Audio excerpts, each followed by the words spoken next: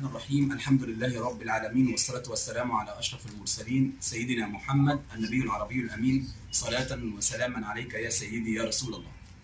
يسر مديرية أوقاف الغربية اليوم الثلاثاء الثامن من شهر ديسمبر 2020 تلقي عدد من دفعات الزي الأزهري للسادة الأئمة الدعاء وكذلك عدد من العمائم للسادة الأئمة بمديرية أوقاف الغربية. ونحن إذ ننتهز تلك الفرصة فنقوم بتقديم الشكر لصاحب الفضل بعد الله علينا سبحانه وتعالى وهو معالي الأستاذ الدكتور محمد مختار جمعة وزير الأوقاف الذي قام على توفير الدعم المادي والمعنوي والزي الأزهري والعمامة والكتب المتمثلة في مطبوعات المجلس الأعلى للشؤون الإسلامية وسلسلة رؤية ونشر فهم الدين الصحيح.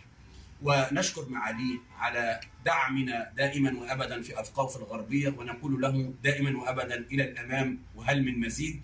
ونسأل الله تبارك وتعالى لمصرنا الغالية اللهم من علينا بنعمة الأمن والأمان والسلم والسلام وارفع عنا البلاء والوباء يا رب العالمين. وسلام الله عليكم ورحمته وبركاته.